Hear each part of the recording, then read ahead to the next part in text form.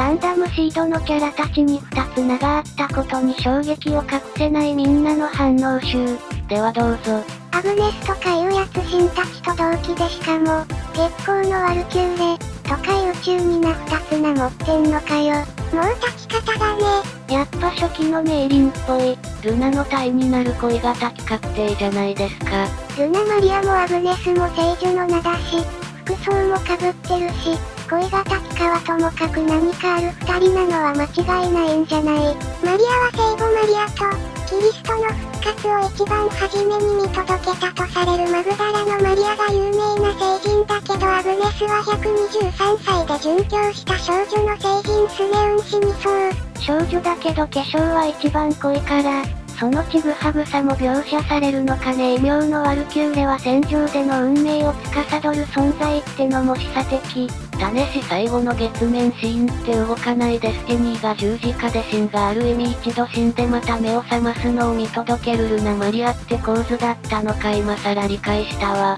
後輩ではなく同期でした書きやすそうだ。フリーダム、キラーの新月光のワルキューレのアグネスやキンブへのフリーダムアスラン、ザラ。二つ名の中では月光のワルキューレはまともな方な気がするな。このアニメそんな中に設定あったのか二つ名なんてアニメ本編で聞いたこともなかったから知らなかったわ。あのアスランには二つ名は、監督自ら公表してるやで。ザラの名前そのものがインパクト強すぎるからしゃあないケネディとか小泉とかそういう感じだろう。一応スパロボでオーブの赤い閃光ってのがあったからちなみにキラもオーブの白騎疾風ってのが付けられた。この子種師の時はどんな活躍したんだろう動機だって判明したから仮にもザフトだった自分らを任した相手に兵こらしてて悔しくないの？みたいな詰められ方してる可能性あるかな。じゃあなんでお前その舞台にいんのってなるだけじゃん。神話スパロボで、ザクトの青い稲妻、なんて呼ばれたこともあったな。青青い稲妻、ブルーディスティニー。ってこと、フォースインパルスはの胴体は青メイン。機体に青色が使われている。デスティニーのハイネ専用機がオレンジでシン専用機が青と考えるとまあパーソナルカラーと呼べなくもない。そうかシンの同期ってことはシン的には、アグネスがステラに似た声をしてるんじゃなくって、ステラってアグネスに声が似てるという認識になるのな。なるほどステラにかぶせたら時系列があべこべになるから、全然違う声で来るんだろうなナタルとフレイみたいに。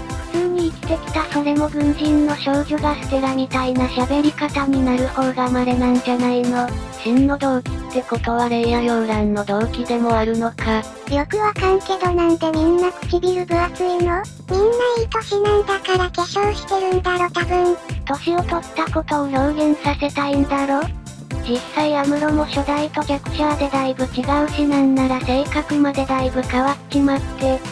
月が入った異名、マリアもアグネスも聖女の名、ミニスカ制服、髪型が昔のメイリン、髪色も似てる後輩ならリスペクトしてるんだろうけど、同期か。ルナマリアの親友の線も残っているおソロで改造制服。大穴でアカデミー時代の真の元カノ。アカデミー時代のしんちゃんにそこまで精神的な余裕あるかな。例のことで怒ってる可能性もある？あ例の話するために動機出してきた可能性もあるのかシントルナが月面で寝てる間にお別れしちゃって、その後触れずじまいもなかなかな消化不良だし、確かにシンルナのためにも例の決着は欲しいな。何の決着をつけるんだ？だって最後の議長の場面にはキラとアスランが立ち会っててあそこにこの新キャラいないしレイのことはアスランから聞ける。なんなら神話レイからクローンって聞かされてるしレイはクルーゼ同様にデュランダルを支持する側のキャラだからここに来てレイの知られざる一面もクソもないだろ。レイのことはわかんねえけどアルダフラガのもろもろは解決するかもななぜクローンを作ったのか。なぜそのクローンが兵士なのかデュランダルとどういうつながりなのか。アグネスを無理やり星に関連づけるならアグネス。ちゃんの曲に星に願いをって曲があるけどさすがに無理やりすぎか。コンパスが自分の意思で参加するならどの面下げてキラやラクス批判するの？になるけど、軍人として参加するよう命が下ったんなら思想関係ないから、内心思うところありなのもおかしくないような気がする。シンの同期目線だと、議長直属のフェイスに任命されてデスティニープランの旗頭になっていた同期の星が、何議長倒した連中と親しくしてんのよとなるかもな。シン同期相手にこの態度だったのか。よっぽど痛いところ突かれたか学生時代に弱み握られてるかのどちらかだよな。同期設定明かされたから一人だけファウンデーションとの越見で頭下げなくてそういうとこ昔から変わらないのねって揶揄されてるシーンなきしてきたアカデミー時代から問題児だのはルナマリアも言ってるし。好き嫌いの多すぎるしんちゃんはサバイバル訓練は女子からお菓子分けてもらってしのいだって話が CD ドラマにあった気がするけど、アグネスにも世話になったのかもしれない。どんだけ好き嫌い多いんだよそれ。可愛いエピソードだな。サバイバルで食べ物恵んだ側としたら、食べ物の好き嫌いも直せないあんたが人の共存を解くのぐらいの小言は許される。確かドラマ CD では神話、俺たちも持っていく。って言ってたから、アグネスたち女子からもらってたというより真の世代はそういう不良生徒が多かったって感じかしら。チナアスランは呆れ返ってた。今更やるだろうか？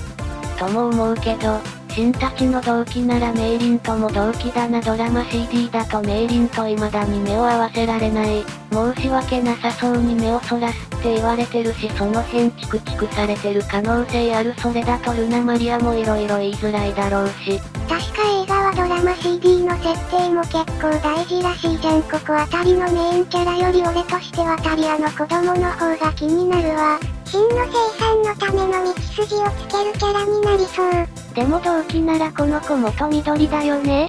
能力的にはルナよりも低くなるイメージが、赤服は成績トップ20の証なので、全然他にもいておかしくない。新たちの世代だと女性赤ってルナだけじゃなかったっけ？俺がガセネタつかまされてたのかな？現場で花開いたタイプかもな。ルナがあの世代で唯一の女赤服って初耳だけど、何かの設定資料集か何かなんか？